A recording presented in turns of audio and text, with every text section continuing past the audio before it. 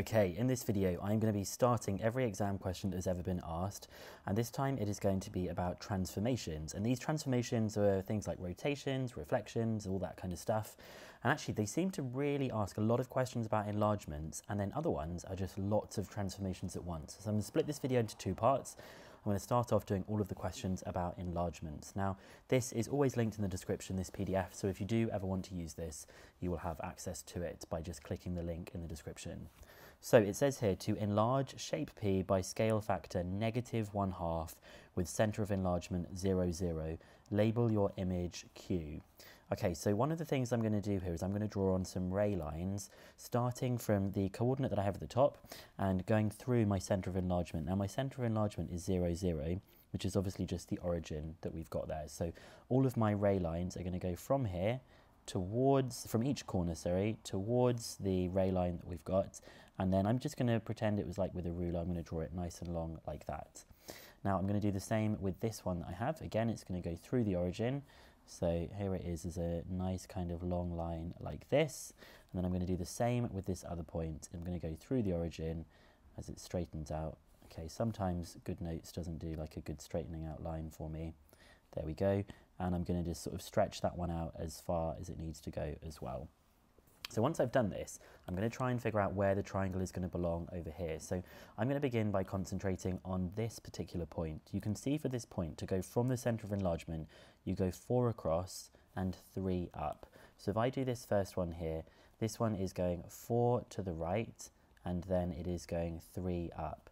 Now because the scale factor is going to be negative a half, I'm going to go in the opposite direction for both of them because of the negative that we have, so it's going to be going left and down, and I'm going to be halving it, so it's going to be going 2 to the left and then 1.5 down.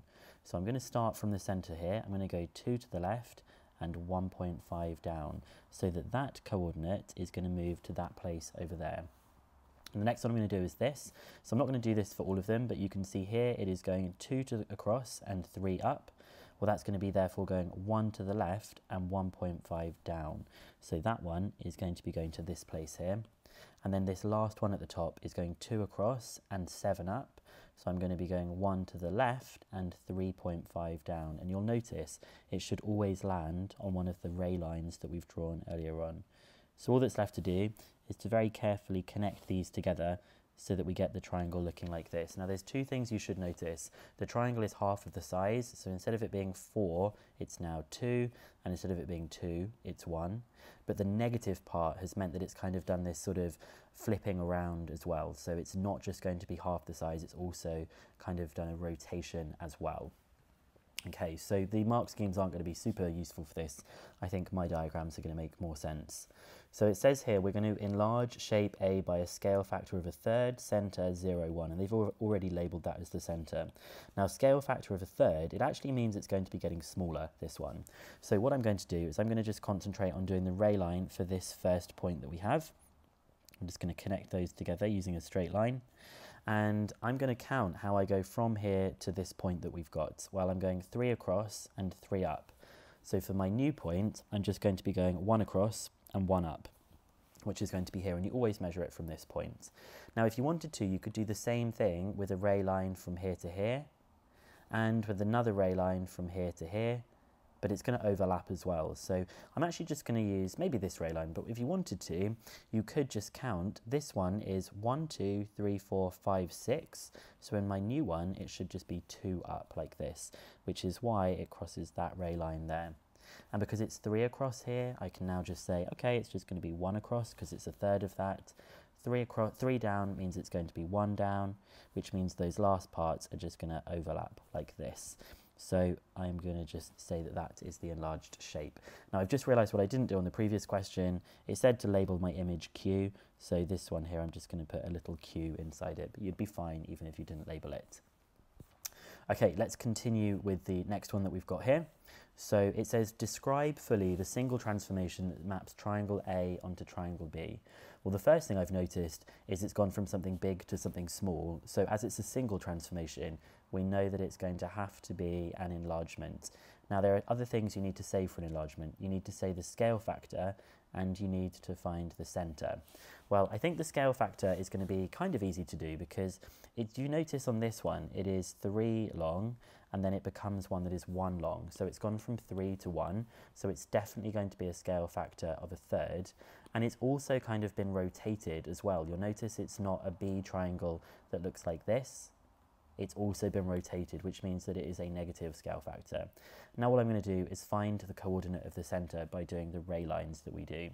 Now I think the easiest one to notice is that this corner and this corner must match each other because they are the matching corners of the shape.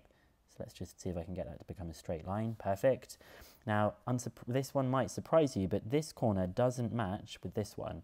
That corner actually matches with this one at the bottom. So when I draw these lines together, they're actually going to be those two that are matching. And then when I do this corner with this corner here, if I match those together, luckily I've got this kind of ruler tool, we will see that they all cross over at this point that we've got, and that is going to be our center which is 2, 2. So the centre of enlargement is 2, 2. We have to say enlargement, scale factor minus a third, and centre 2, 2. Must make sure you have that word enlargement. So you can see you need to say enlargement, the negative third, and 2, 2. Because it's in brackets, you don't technically need to write those things, but I think it's a good idea to do this. Okay, it then says for this question, it's just a one mark question, Roy is going to enlarge triangle PQR with centre C and scale factor 1.5, he draws triangle XYZ. Explain why what Roy's diagram is not correct. Well, let's have a quick look. On this part of the triangle, he's done a 2, and on that side of the triangle, it is a 5. So if we wanted to find out what the scale factor that he's done, you can do 5 divided by 2 and see what that is. And 5 divided by 2 is 2.5, but he said that it was 1.5. So Roy's diagram is not correct because he used 2.5 as the scale factor. He used 2.5, not 1.5 as the scale factor. Let's double check we've got that one. Yeah, acceptable answers. The scale factor he used is 2.5. Okay, we're going to enlarge triangle A by a scale factor of 2.5 with centre 0, 1. Well, I'm going to draw the ray line from the centre of enlargement to this bottom part, which is obviously just going to be a horizontal line. That's going to help me start off seeing where this triangle is going to belong. So the journey from the centre of enlargement to here is 2, and because the scale factor is 2.5, I'm going to do 2 times 2.5, which is 5. So I want the new part of the triangle to be 5 from here. That's 1, 2, 3, 4, 5. So at this point that I've got there, that is going to be the first part of the triangle. Now you'll see this part of the triangle is 4. So because it's 4, I'm going to do 4 multiplied by 2.5. I'm going to enlarge it by 2.5. And 4 times 2.5 is going to be 10. So I want the triangle to go up 10 spaces. Well, that's going to be 1, 2, 3, 4, 5, 6, 7, 8, 9, 10. I'm just going to make a little mark there and then I'm going to join those two parts together like this.